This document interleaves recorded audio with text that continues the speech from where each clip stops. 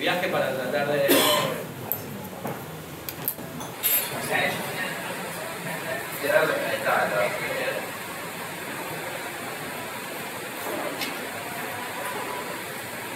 Entrar a la cuenta, acceder al crédito, va a simular un préstamo, utilizar el monto, ahí lo que va a figurar es el monto máximo para cada persona.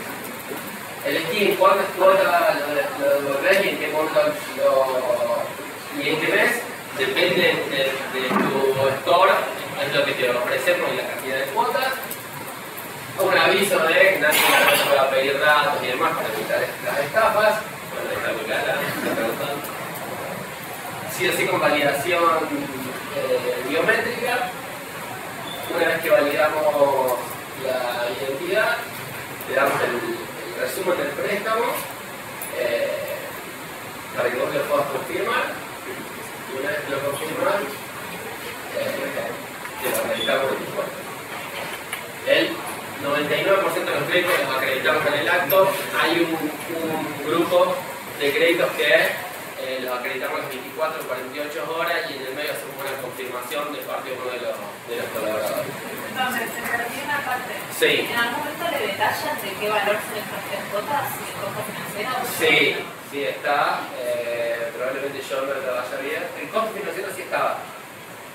¿Podemos volverla a poner? ¿Podemos volverla a poner?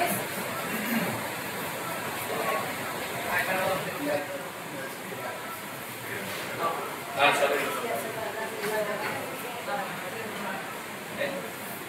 Ese de nuevo.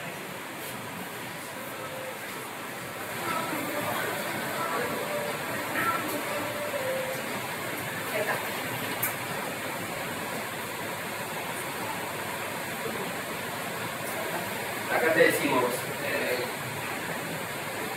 cuando elegís las cuotas, cuánto devolverías y si lo abrís, te dice cuánto es en cada cuota. Y cuando confirmas, antes de confirmar el préstamo, ahí te mostramos el costo financiero total.